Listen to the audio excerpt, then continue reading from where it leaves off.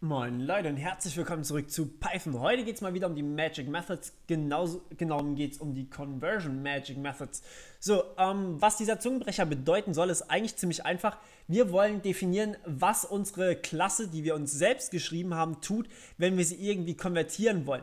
Ein mega geiles Feature, wenn ihr mich fragt und ich frage mich wirklich, warum andere Sprachen das Ganze noch nicht umgebaut haben und ja, auch erlauben für ihre Sprachen. Okay, Schauen wir uns das also einfach mal an. Wir wollen jetzt, dass wenn unsere Klasse A zum Beispiel in ein Integer konvertiert wird, dann wollen wir uns definieren, was dann passieren soll.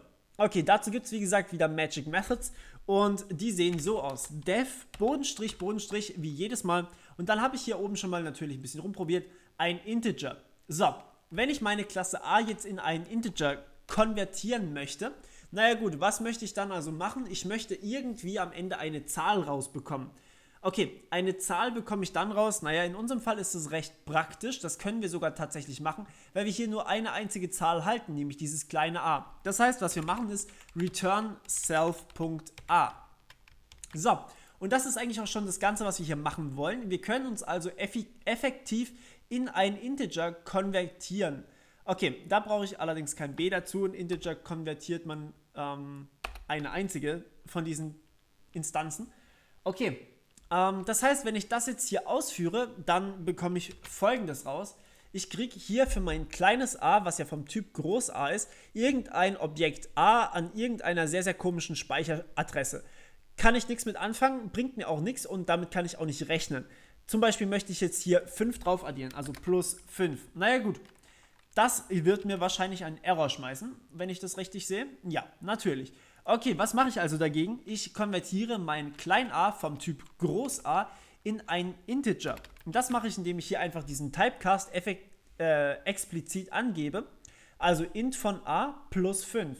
Okay, schauen wir uns mal an, was passiert. Naja, es kommt 5 raus. Das heißt, ich habe hier tatsächlich meine Zahl oder mein, mein ganzes Klassenobjekt hier, meine Instanz, konvertiert in eine normale Zahl. Und dann habe ich einfach noch 5 drauf addiert. Und jetzt kann ich damit weiterrechnen, wie ich gerade möchte. Ich kann natürlich zwei Objekte vom Typ A mit einer anderen Magic Method so definieren, dass ich die miteinander addieren kann, aber in keinem Fall kann ich hier einfach eine Zahl drauf addieren. Das geht nur, wenn ich hier tatsächlich das Ganze in ein Integer konvertiere.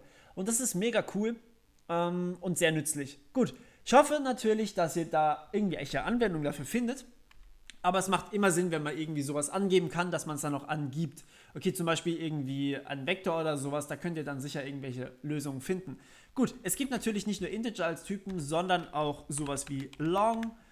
Das würde mir dann das Ganze in ein Long konvertieren, also eine längere Ganzzahl. Oder aber ich konvertiere in ein Float, also Float, Bodenstrich, Bodenstrich. Das wäre die Methode, die mir das Ganze in eine Gleitkommazahl äh, konvertiert. Dann kann ich noch in eine komplexe Zahl konvertieren. Ähm, das geht mit komplex. Dann kann ich in eine hexadezimale Zahl konvertieren. Ich kann in eine oktale Zahl äh, konvertieren. Ja, und was wahrscheinlich die meisten von euch irgendwie brauchen werden, ist die Konversion in einen String.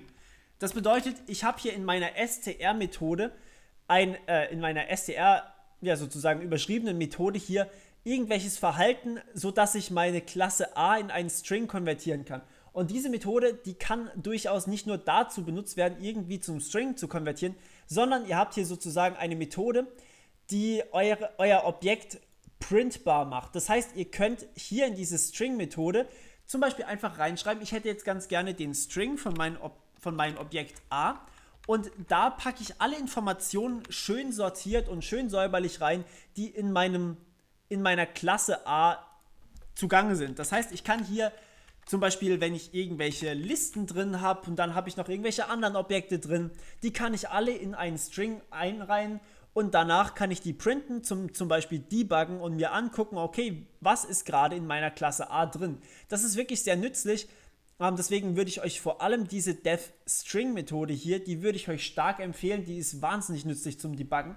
Ähm, selbst Java hat hier eine Variante dafür gefunden, allerdings keinen wunderschönen Converter oder sowas, also Type Converter, sondern ähm, eine Two-String-Methode. Aber gut, ähm, nicht so viel zu Java, sondern mehr zu Python. Okay.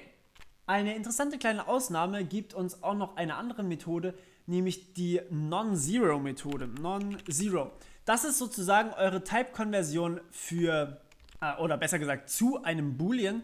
Da wird einfach ausgegeben, ob euer Objekt gerade nicht 0 ist. Das heißt, ob zum Beispiel a ungleich 0 ist. Das heißt, ich gebe hier zurück self.a ungleich 0. Okay. Und ja, wenn wir hier das Ganze rausbekommen, kriegen wir mit der Bool-Methode theoretisch, wenn ich hier die Bool-Methode aufrufe, dann kriegen wir hier ein True. Weil eben mein a gerade gleich 0 ist. Also, ja, okay. Also, wenn es gleich 0 ist, kriegt ihr hier ein True raus und wenn es ungleich 0 ist, kriegt ihr hier ein False raus. Super. Um, ähm, und noch eine letzte Methode möchte ich euch auf jeden Fall nicht vorenthalten. Die solltet ihr auch vor allem irgendwie in der Kryptographie, wobei ansonsten braucht ihr das auch. Um, ähm, also auf jeden Fall habt ihr hier eine Hash-Methode, die hasht euer Objekt. Das wird zum Beispiel für irgendwelche Hashmaps oder sowas benutzt. Um, ähm, diese Methode liefert euch einen Hashwert. Und dieser Hashwert ist standardmäßig das, was ihr gesehen habt, wenn ihr einfach nur A ausgebt.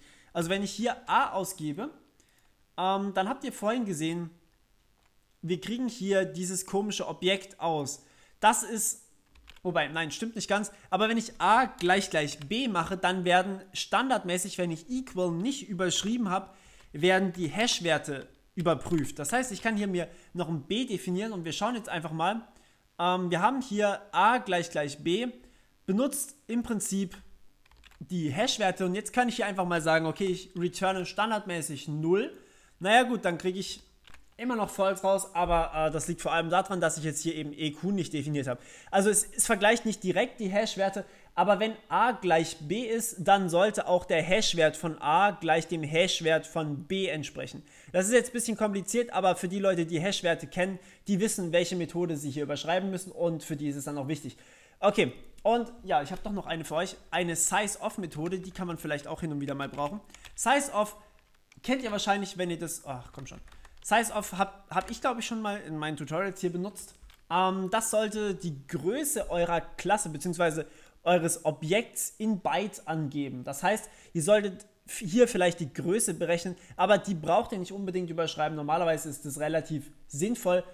Ähm, nur wenn ihr irgendwie in C kompiliert oder sowas. Also es gibt durchaus Datenbanken bzw. Ähm, Bibliotheken, die euren Python-Code in C konvertieren für C wird häufig diese Size-Off-Methode benötigt.